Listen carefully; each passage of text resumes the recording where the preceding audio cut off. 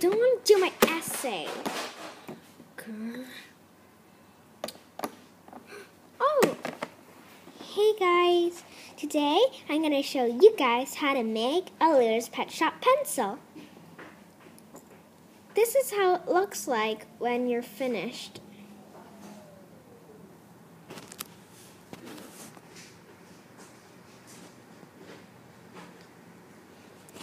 So, all you need is some toothpick, markers, black, yellow, and red, scissors, and if you want to, you can use paper. So when you're coloring, your, the ink won't go on your paper. So let's get crafting. First, get a toothpick.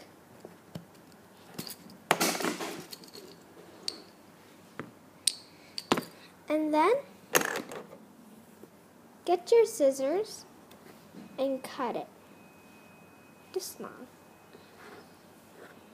Any size is okay. It's your choice.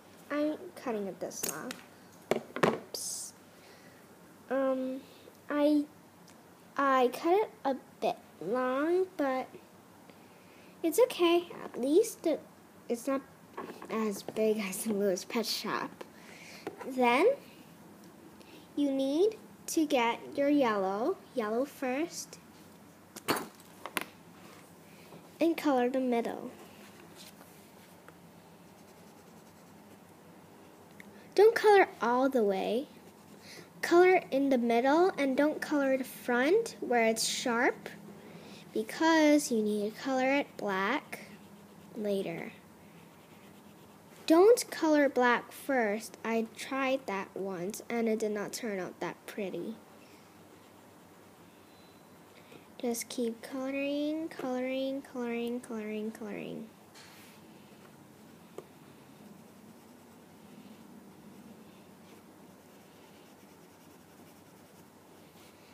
Okay.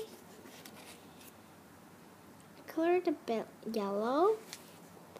Um, also leave some space on the top so you can make the eraser. Put the eraser on top, which is red. Yep. And then, now we need to get, oh, there's a small space here. There. As you can see, I did this. See, that's why I put a paper. And then I'm get using red.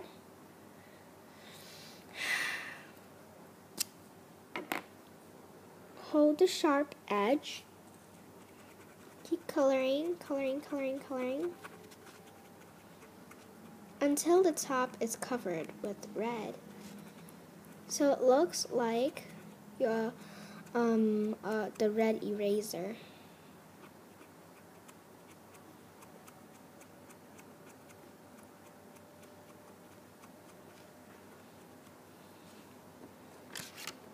Done. And we're not done yet.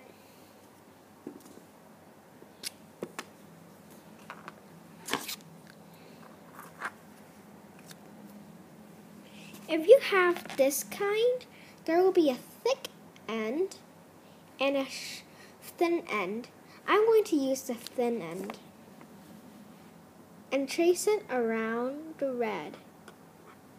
So it will look like the middle thingy around the eraser on your pencil. We're almost done. But this is how it looks like after you put the black. I put it right here. And then, last but not least, use the thick end of your black marker and color the end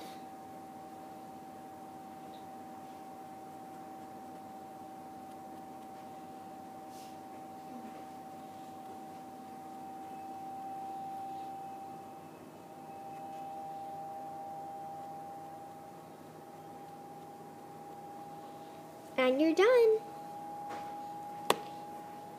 Happy crafting! This is the final result. It's easy, fun, and really, you don't need a lot of supplies for this. So I've made a lot of pencils, as you can see. I have toothpicks and markers. Yep. Bye.